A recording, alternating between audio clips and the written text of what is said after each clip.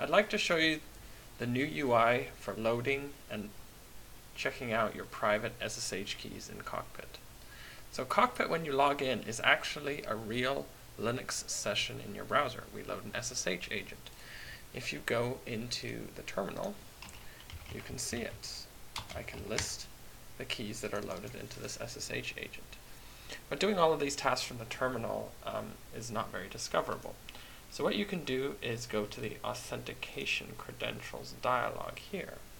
And you can see that these keys are listed and we can choose to use them to authenticate against other systems. So when I add another system to the dashboard, Cockpit can use these SSH keys to connect to it. You can see I've this one is loaded, this one is on. You saw that one loaded in the terminal.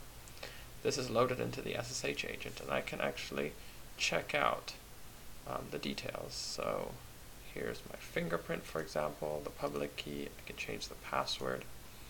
And there's this tip here that says if we make our key password match our login password, then we can um, use this key, um, have this key loaded automatically. So let's load this key over here.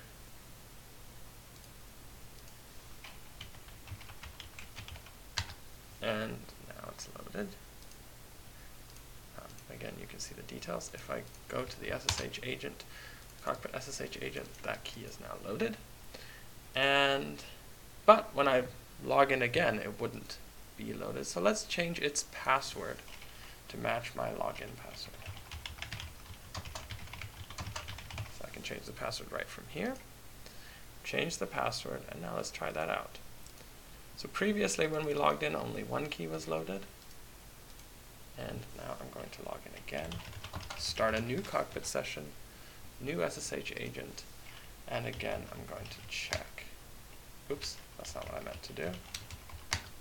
Two keys are loaded this time, RSA and DSA keys, and you can see they're both also indicated as loaded here through the GUI. So this makes it really easy to uh, manage your SSH private keys. We haven't yet gotten to key generation.